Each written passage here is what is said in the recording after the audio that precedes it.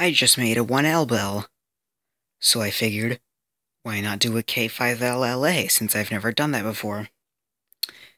Re mix, remove the, um, number 5 bell, moved around the bells for it on the K5LA, and then reversed the 1L bell.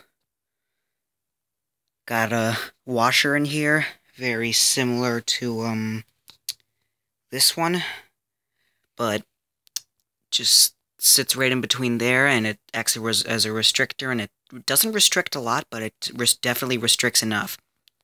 Got my K'NEX valve. Let's get to it. Alright. I'm gonna do it towards the side the side of the 1L bell because that's not usually the loudest side. Let's go.